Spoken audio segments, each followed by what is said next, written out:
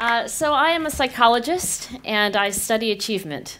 Uh, most psychologists who study achievement study intelligence. Um, and uh, I think that uh, if the last talk didn't convince you, and I have a suspicion you didn't need a whole lot of convincing, intelligence is, is only part of the story, maybe a very small part of the story. Um, and it is uh, in fact, possible that we even have that small part of the story wrong uh, in terms of intelligence being thought to be something largely inherited and not developed, um, something that is uh, relatively immutable over the course of uh, one's life. But um, I came to the study of, of all the other things than intelligence, um, everything else that made up achievement. Um, a, kind of a circuitous route. So I was 32 when I started graduate school. Um, I, you know, turned to my left and to my right, and everybody else was, you know, drinking cappuccino and studying at one in the morning uh, because they were 22, not 32. Um, and so uh, I actually think that my life story is a great example of actually not having grit, not having enough grit, maybe having some talent, but not actually having uh, what I now study is actually one of the key and probably um, necessary ingredients of high achievement in any field um, that you want to consider. So what I did between the age of 22 and 32 was, well, many different things, all of which I think sounded good on a resume. See, I was a McKinsey consultant. Um, I went to Oxford for a couple of years on a prestigious fellowship. Um, I was the COO of a um, of a nonprofit website for for parents to get school information. That sounds good. It, that was good. Sounds good and was good. Um, I taught in various schools in um, New York and in Philadelphia and in San Francisco. And all of this added up to sort of, you know, a great person to have dinner with because, you know, that person had done a lot of things and had done a lot of interesting things um, and had done most of those things actually relatively well. Um, but what I realized is that if you are a boat, a really fast, shiny boat, which is going quickly towards one destination, but then tacks to another direction to go to another port and then tacks again, um, essentially you end up being a really pretty, shiny boat that goes fast nowhere. Um, and, and so my own kind of personal experience and probably my lack of grit actually led me to study this quality um, in some detail. Um, and I'm going to mention uh, something that I'll get to later in the talk, but it's called the 10 year rule. Um, so it turns out that there is really no domain of expertise that has been studied where the world class performers have put in fewer than 10 years of consistent, deliberate practice to get to where they are. So I started graduate school in 2002. I have three more years on my clock, um, which means many things, among which means I can't give up until I have um, at least put in my 10 years and see, see whether I've gotten anywhere. Um, psychologists have been interested in the distinction between talent and everything else for uh, for years, right? So before we had words to describe it, we were also probably interested in it. But here's a quote from Clark Hull, one of the eminent American psychologists of the early 20th century. Um, he wrote a little review. He kind of reviewed the literature that was out there, which was quite easy to do in 1928. There was a whole lot less of it. He said, you know, there's really two things. There's our talent, and uh, I would, uh, you know, emphasize what Chris said. You know, talent is multifaceted. There's there's creativity. There's visual creativity. That's different from musical creativity. There's analytical talent. There's athletic talent. There's musical talent. Um, but let's put them all in one category. There's intelligence as conventionally defined. And then there are all of those many things that are so much um, worse understood in a way. Um, all of the capacities that allow us to unlock our talents. And he would put those in the category of industry. Uh, William James made the same distinction. William James wrote a famous essay in 1907 called The Energies of Men. And William James, who arguably is the founder of you know, American psychology, uh, said that there are our talents and those things that unlock our talents, and we could design all of psychology to try to understand these two things. I would argue that we've done some amount of work on the talents and almost nothing on, on the unlocking. Um, when I when I considered, you know, what is it that unlocks people's potential? What enables people to um, become a, a world class musician, a world class teacher, world class performer. Um, I struggled with this um, this word to, to call what I was um, becoming to understand was one of these key ingredients.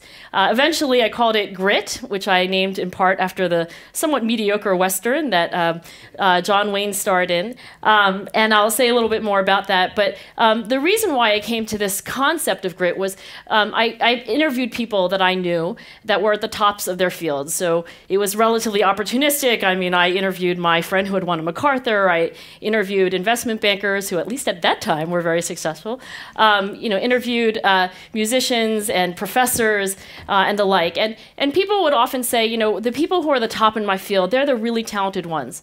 But just as often, and in fact, I would say more often, people said that these individuals at the top of their fields had this kind of tenacious, dogged perseverance unlike anyone else that they knew. And it was actually that which you know vaulted them to the top so I called it True Grit after this movie, which is really about a, a young girl from Yell County, Arkansas, who, like in typical Western form, her father is, you know, unjustly murdered. She spends the rest of the movie um, avenging his death. And Rooster Cogburn plays the uh, one-eyed um, semi-alcoholic sheriff who, who follows her along. And everyone thinks the True Grit is, is really about, you know, John Wayne, of course. And it's really about this young girl who, against all odds, pursues a very long-term, almost impossible goal.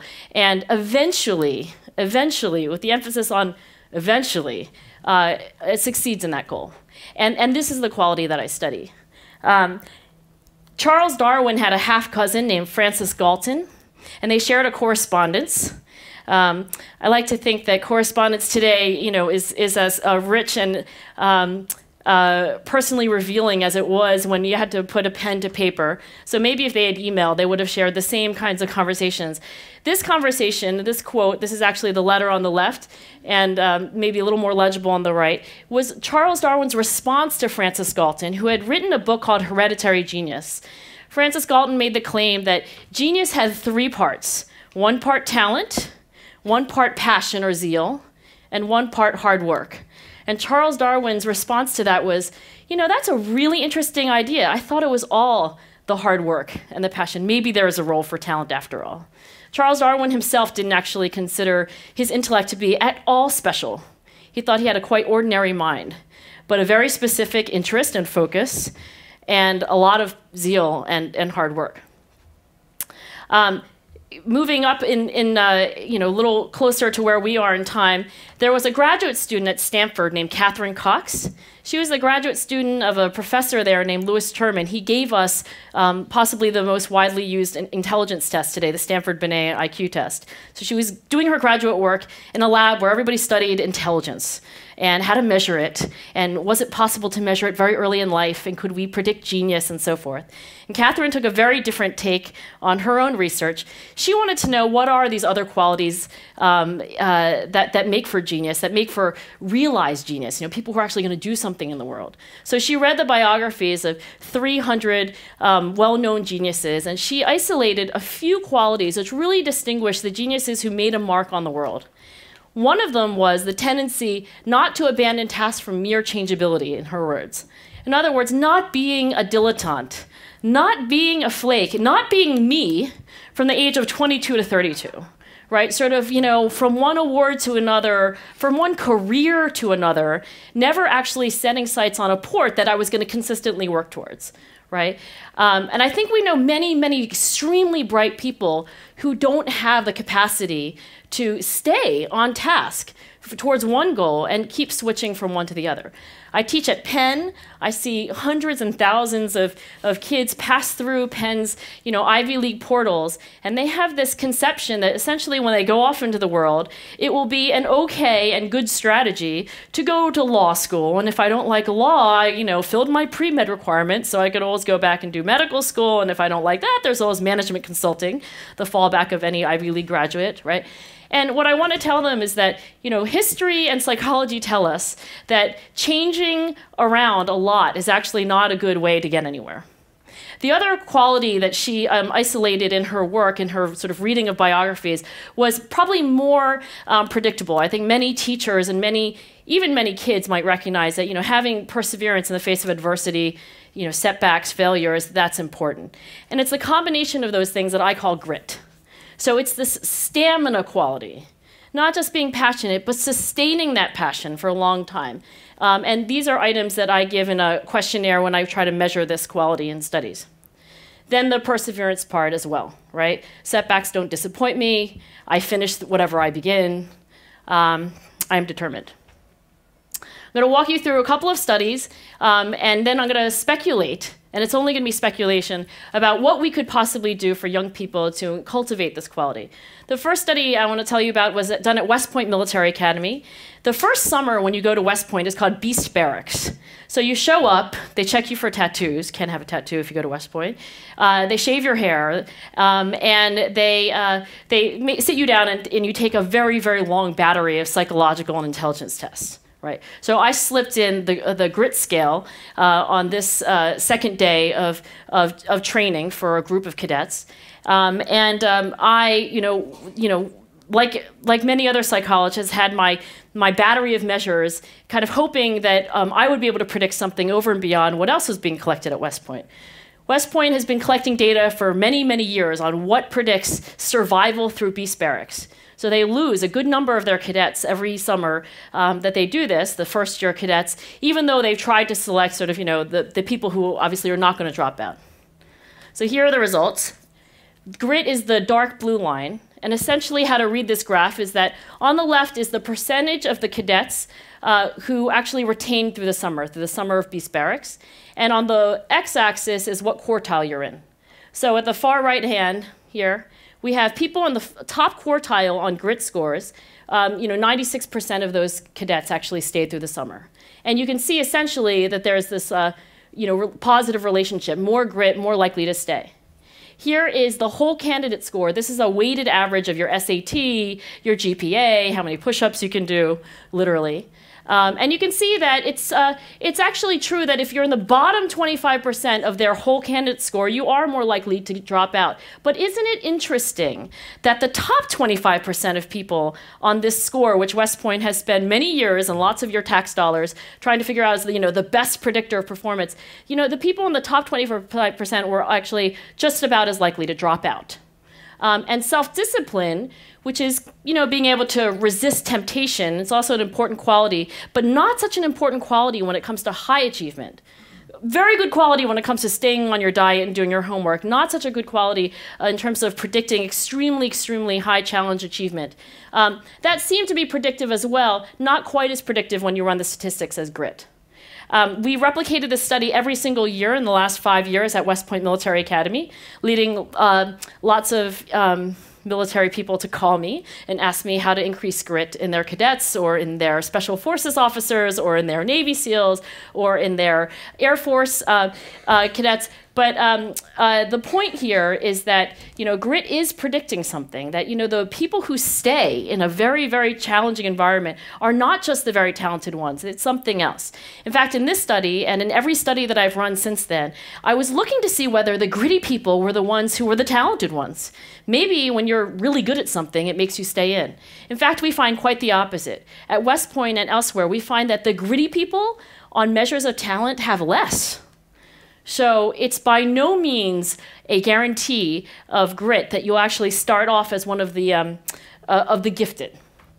Um, here I'm going to run quickly through some other studies. This is uh, grit measured um, by looking at people's resumes for consistency and follow through. I would have gotten a terrible grit score on my resume. I would have gotten great for breadth, low for grit. And this is actually looking at grit in uh, college resumes as a predictor of the teacher effectiveness in uh, teachers uh, under resourced communities. And we measured uh, teacher effectiveness the way it should be measured, which is the academic progress of their kids. And no, no other thing I think would, would substitute substitute for that. Uh, we did a great study, uh, and when I mean great, it was just fun, uh, of the National Spelling Bee kids. Um, I called up the director of the National Spelling Bee, who herself was a National Spelling Bee champion. She corrected the spelling on my email on her return, and that was fine too. Um, and these kids are, are these, you know, um, extraordinarily children, and I think many people have this stereotype that, you know, spelling bee kids are verbal geniuses, and the ones who win the spelling bee are sort of more genius-like than the ones who don't win the spelling bee.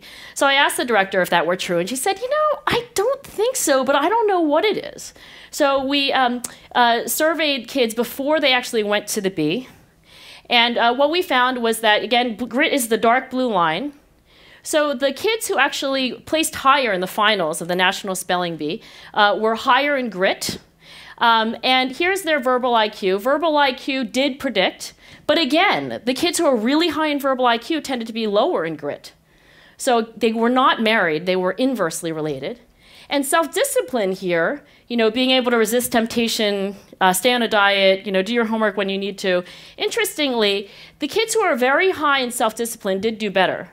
But there was also this slacker group in the bottom 25% of self discipline who also did quite well, and, but just about as well as the top. So again, self-discipline, great for doing homework, terrific predictor of GPA, not such a great predictor of, you know, are you going to go found the Blue Man Group and stay with it, et cetera, et cetera.